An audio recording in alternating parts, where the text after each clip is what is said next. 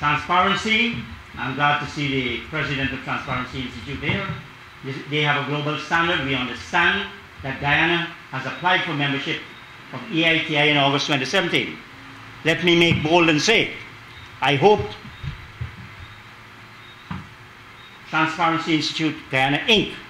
will write EITI and say, unless the, the contracts are disclosed, we should not be admitted as members of EITI. We have to be bold, Troy.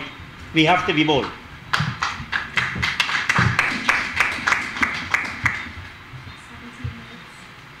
Now, restriction of information. And remember we said that this is the one poor Mr. Trotman has a difficulty with. This is what was always there.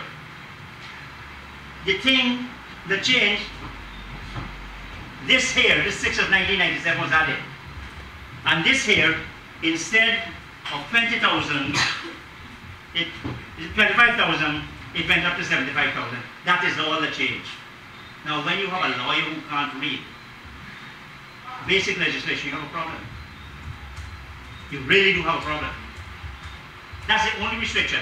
And it says no information furnished or information in a report submitted pursuant to this act. It doesn't say about any contract. That is what it says. Where does this cover a contract? Guyanese are not fools. We may be quiet and we behave like fools, but I don't think we're fools. This gives you, we, we decided, look, let us work on a model because nobody's talking about something. What will we get out of oil?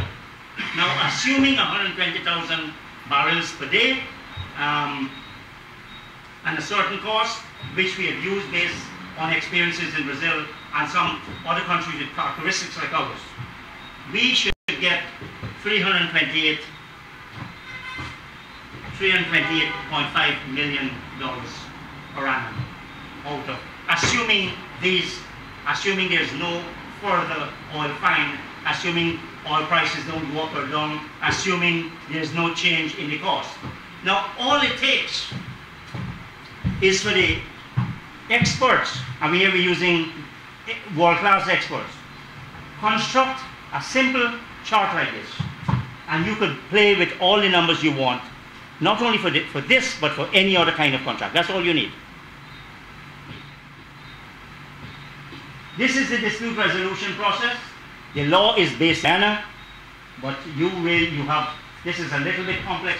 Um, you try to settle your differences, otherwise you go to ICSID, the National Center for Dispute Resolution, and you can end up with um, an arbitration in the United States of America. It's a very, it's not unusual. But that's where you end up. ExxonMobil relations with Dan. And let's say this Exxon is not the only player, but Exxon does is involved in 54% of the acreage, and that puts us as a country in a weak situation because you can't go messing around with big people when your budget suddenly becomes so dependent on their operations. The contract was signed on June 14, the agreement 1999, and on the same day, a prospecting license was issued by the late President Janet Jagan.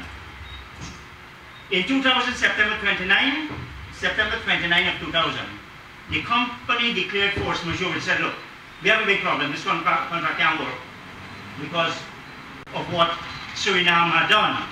You know, the sea Thornton, um, the naval vet. The, this is a all rig and drill ship. Suriname moved in.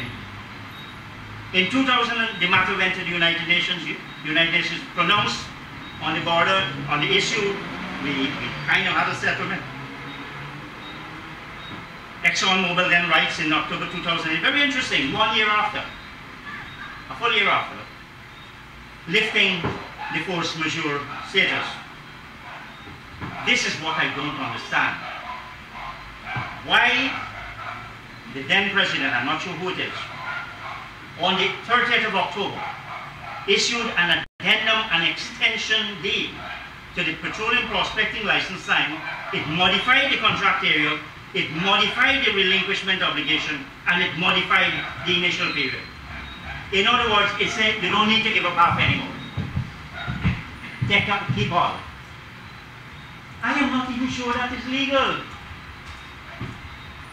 Now, as I said, that to me placed us in a rather um, weak situation. Situation. The then government allowed something that really oughtn't. They should have said, okay, what happens when you have force majeure? Is the clock stops, and as soon as force majeure is lifted, it resumes. So if you had one and a half years, if you had one and a, one and a half years, then you have two and a half years still to go for your four years. That's all that should happen. But look what happened. We're still on ExxonMobil. The PPP government having done that. Then you get, and you have to look at the official gazette. Mr. Trotman never said this. In August 2nd, 2016, official reveals that a new agreement was signed between Guyana and Exxon. Why? Why? There was no need for a new agreement. I'm not even sure.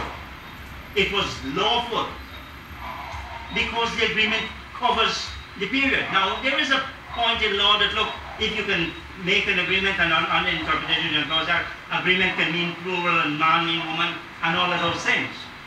But I'm not sure within this context it, was necessary. And certainly, I don't think it was in our public power interest. And I believe the minister should explain what he did